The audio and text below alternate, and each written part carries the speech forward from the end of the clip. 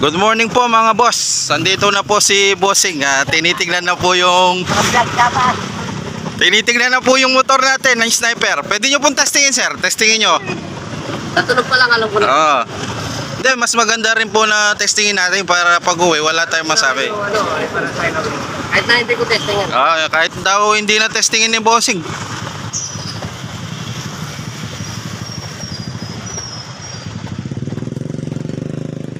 Taga saan po kayo sir? Angeles? Saan po sa Angeles? Angeles mismo, abakan. Ah, sa may Abakan. Abakan Bridge. Sniper 150, makinis mga boss. Walang gas-gas. Ayan o. Testingin mo sir.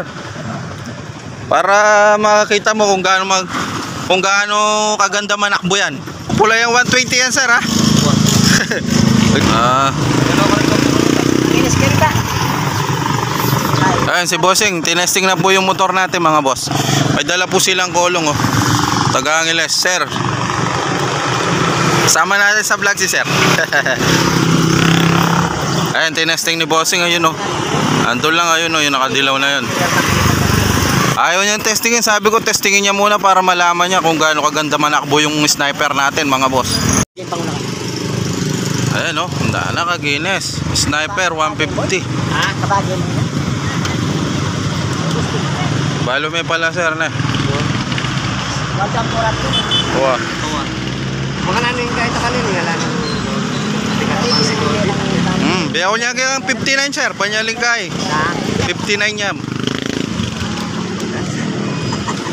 Mura na kasi eh. May, ma, ay, totoo na yan sir, makapusya niya mo muna 65. Kaya malagwa lang yan. Kanya 50? 58.5 sige, baka ta.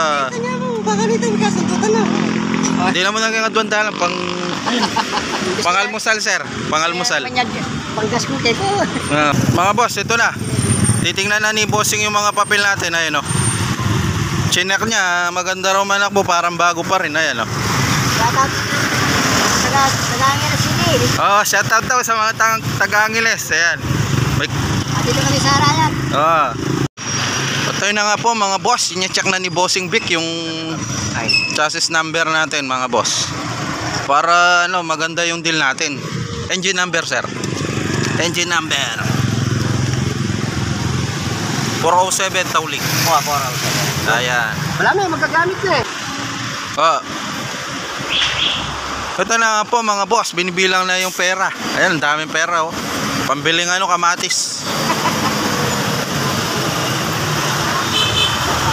Eh, magandang kadil si Bossing, wala nang cheche bureche. Oh.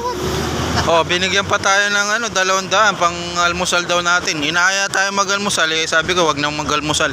Bigay niya na lang sa amin yung pang-almusal, eh, binigyan kami. Abas, ingat yung biyahe. Salamat sa magandang deal.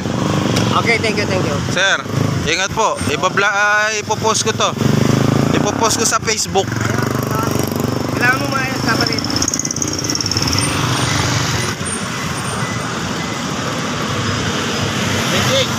58